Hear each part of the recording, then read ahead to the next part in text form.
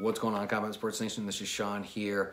Uh, we appreciate you press and play on our exclusive post event, post fight interview at CES uh, 54 with Tony Gravely, the victorious and now defending Bantamweight champion on CES's inaugural event on Fight Pass. It was extremely impressive. Tony put away Chris Mutino in the fourth round by TKO KO. Uh, however you see it, it was devastating. Uh, Tony now improves to 17 and 5. In 2018, he started the year with a loss, ended up riddling off four victories, five in a row now. He uh, captured three titles in 2018, of course, defended one of them, the CES title, um, uh, this past Saturday. He's just impressive. I mean, without a doubt, I believe he should be the next bantamweight um, to be signed in the UFC. He breaks down um, how he felt about the first and second round leading into the third, and then, of course, the finish.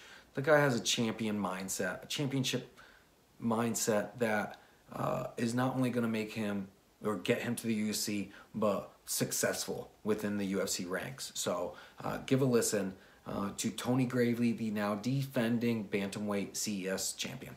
I think uh, the first and second round had a lot to do with the way the canvas was a little slick. Um, also, I know that he, he's got a good he's got a good gas tank, and I know that. But I know that I'm able to with my wrestling. I, I feel like I can I can um, level out anybody's cardio with wrestling. I, I, I, train with wrestlers all the time, high level wrestlers um, at Virginia Tech, and um, you know we, we we wrestle for like 30 minutes straight sometimes, and and I know that I can I can wear somebody out like that. So um, you know, on top of getting you know the canvas being slick, took him down. And I was really patient with um, with how I approached the first couple rounds. I knew it would wear him out, and um, I just kept tapping away like a hammer, just kept tapping, tapping, tapping. And then um, in the third round, I think it was third or fourth, I wasn't sure, um, came out, and uh, at that point, you know, people get really eager to swing, and then mm-hmm. then that's when you just hit them with you know.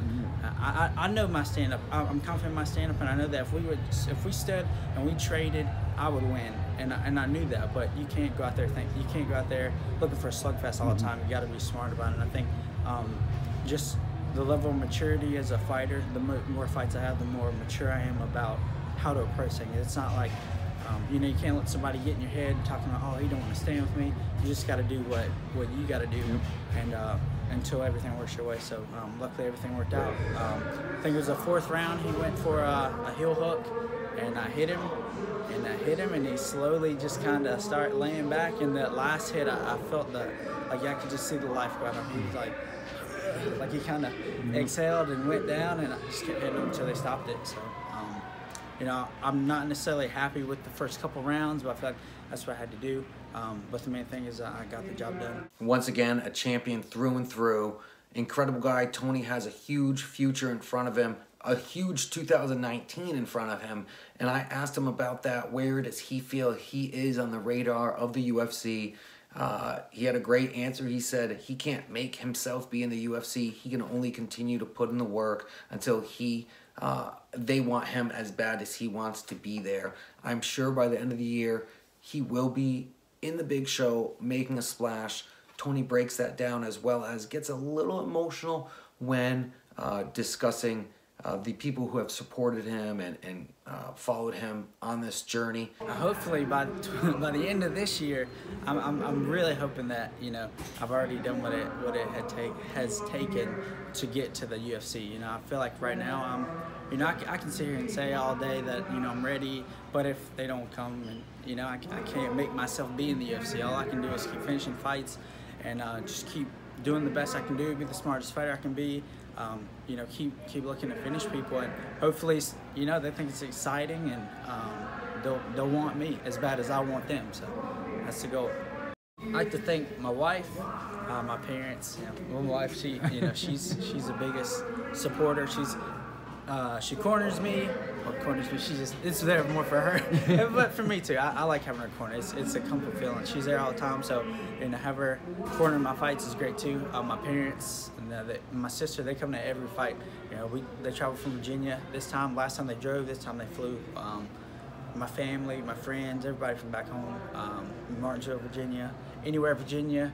Um, got a lot, of, got a lot of people that that um, have been following me and that believe in me. So um, it's it's cool to get it done for those guys and uh, trying to tear up. but uh, I think like to thank my sponsors, um, SAS Builders, Crockett Home Improvement, Sign Associates, uh, Wrecker Tactical Concepts, um, what, uh, my buddies Valley Boys, and uh, Virginia Tech Wrestling for uh, you know keeping me tough and, and able to to implement my wrestling anytime I want to and, and however long it takes. So I really appreciate it. So as you see, the champ started to get a little choked up, a little emotional. I'll tell you a little behind the scenes about that is behind me to my right was off camera was Tony's wife and at a certain point she was giving him a look. Now us husbands would know what this look is. Uh, as our wives, I'm sure many of us has gotten that look of the seriousness of the situation. You don't nothing needs to be said, no words, but it's just a look that was exchanged. And that look from his wife to him was Tony, keep it together.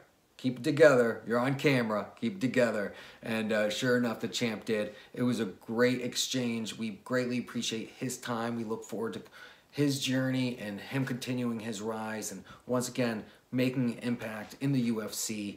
Uh, Combat Sports Nation, as always, we appreciate you following along. Continue to look out for our CES post event, CES 54 post event coverage. As always, follow us on social, social media.